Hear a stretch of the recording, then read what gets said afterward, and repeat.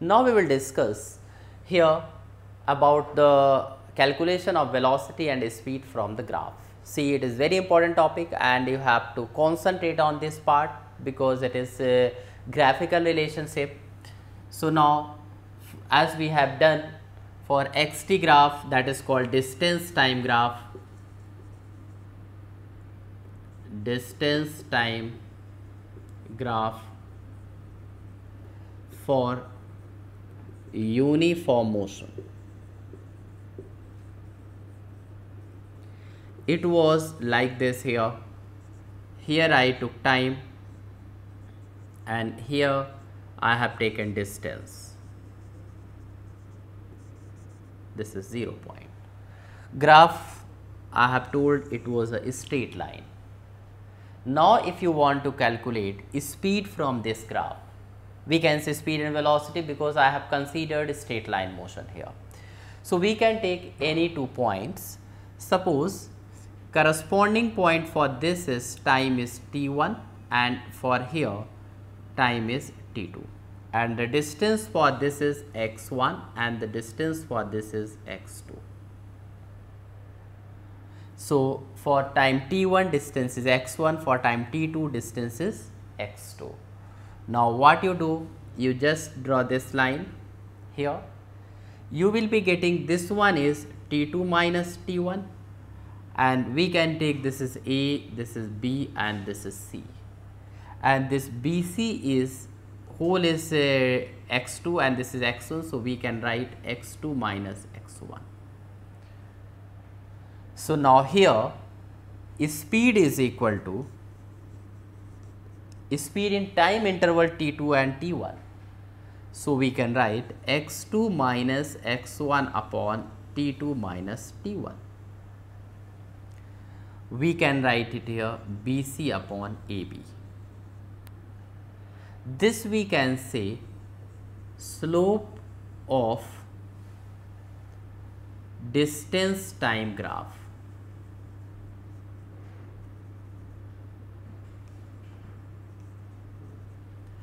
So, slope of distance time graph represent speed. If the body is in a straight line, then it also can be said to be equal to velocity. So, see here x2 minus x1 and t2 minus t1 here just we have taken distance upon velocity we can say this one. This is the distance travelled in t1 to t2 seconds. Now, we can also write this is angle is theta.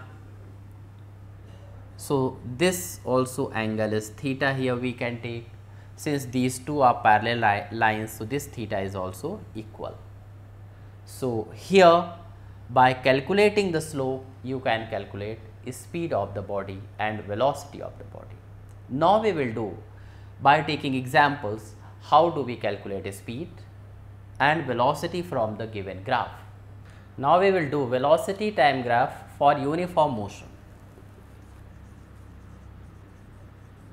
Velocity time graph for uniform motion.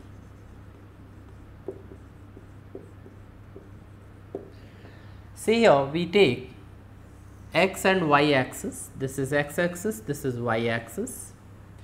Here we take time, this is called time axis, this is origin and here we take velocity. Now you know it in uniform motion velocity remains constant. Velocity or speed you can say both remains constant. So, we can get graph like this. So, this graph represent velocity time graph for uniform motion. Now, from this graph you can calculate distance travelled by the body. Suppose you want to calculate distance travelled. So, we can take this point. This is suppose T2 and this we can take any point is here that time we can take it is t1 we can give this is a b c and d.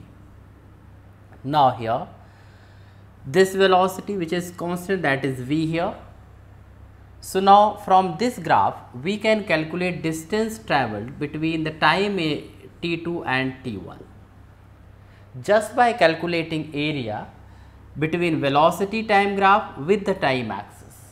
So, you are calculating displacement or distance between T1 and T2. So, just you calculate area of this shaded portion.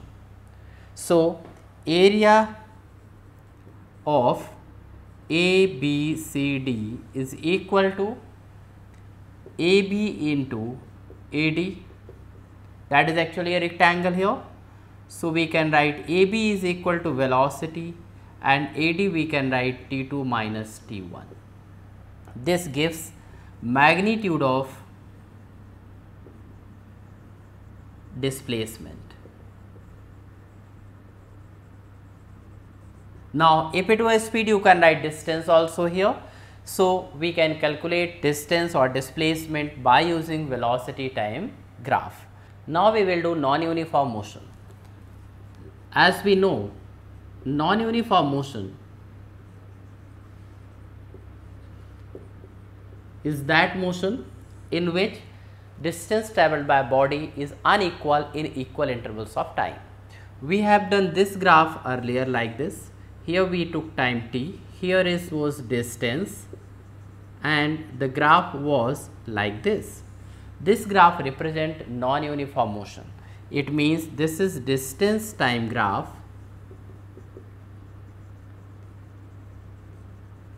for non-uniform motion.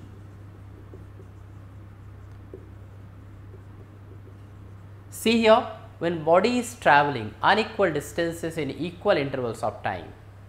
Suppose it is traveling more distances in the equal intervals of time every time distance is increasing.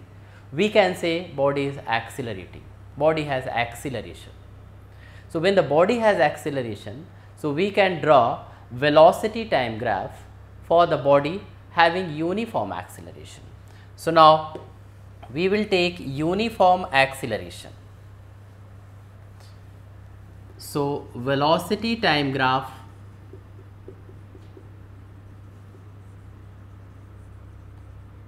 for uniform acceleration. Velocity time graph for uniform acceleration. Here I have taken in this axis here time, this is x axis, this is y axis we take here velocity. Now graph is like this. This graph is straight line shows that there is a equal change in velocity in equal intervals of time. Now from this velocity time graph we can calculate acceleration. Suppose you have taken two points, one is here, this time is t1, this time is t2, this we can take a and b. Now we join this, this is c, here we can write bc is equal to, this is the velocity axis, so we can take this is v2 and this we can take here v1. So, here we can say BC is equal to V2 minus V1 and AC is equal to T2 minus T1. Now, we can calculate slope. Slope of Vt graph that means velocity time graph is equal to BC upon AC that is equal to V2 minus V1 upon T2 minus T1 we can say that is called acceleration. So, when the body has acceleration, motion is actually non-uniform because distance travelled in equal intervals of time will be different. So, this is the velocity time graph for the non-uniform motion, but it is a uniform acceleration. Calculation of acceleration by using graph and this is actually slope of the graph and which I have found here in this triangle. You can take whole triangle also like this is here complete from here and you can calculate acceleration. Whatever time interval you will take acceleration will remain same. So, now we will see velocity time graph here velocity is increasing, but now we will do velocity time graph when the velocity is decreasing with the time. Now, we will do velocity time graph when the velocity is decreasing. So, Vt graph when velocity is decreasing. We can draw like this.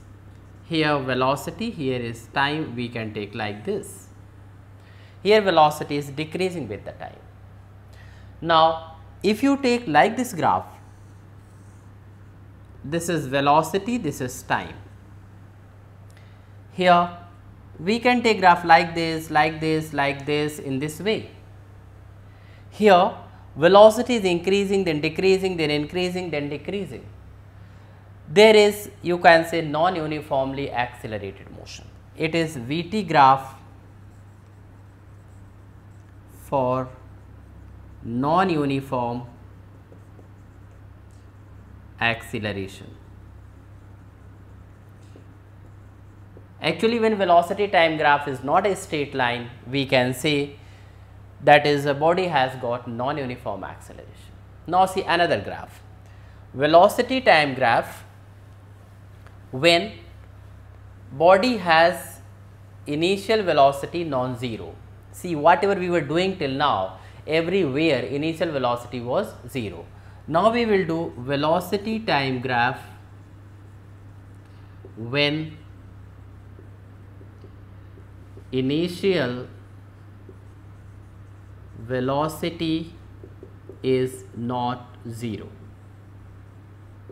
That graph will be coming like this. See here this is velocity, this is time. We can take like this.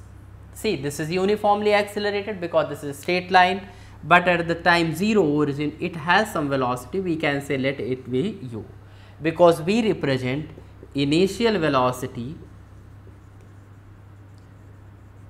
is u and we take final velocity is v. So, we can take this is the final velocity. So, this is the velocity time graph when initial velocity of the body is not 0.